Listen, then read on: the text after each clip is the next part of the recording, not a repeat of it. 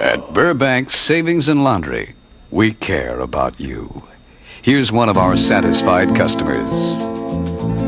Yeah, when our daughter entered college four years ago, uh, we knew we'd like to send her on a trip to Europe as a graduation present, but heck, that'd cost $2,500 and we didn't have that much money.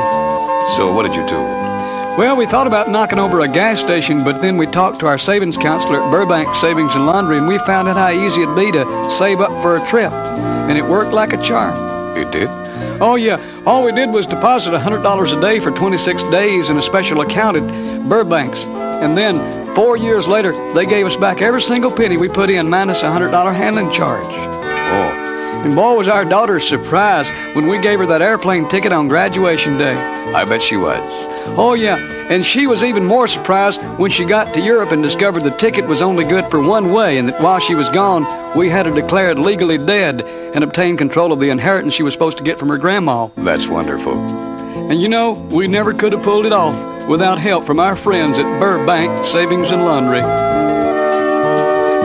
That's Burbank Savings and Laundry, located in the Volkswagen microbus at the corner of First and Main. Remember, Burbank Savings and Laundry.